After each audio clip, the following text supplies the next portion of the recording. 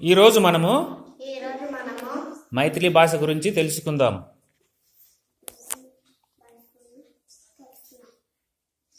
మైథిలి భాష గురించి తెలుసుకుందాం. మైథిలి భాషలో నమస్కార్ అంటే తెలుగులో నమస్కారము. మైథిలి భాషలో అహంకేన్ నామ్కి అచ్చి. అహంకే నాంకి అచ్చి తెలుగులో నీ పేరు ఏమిటి?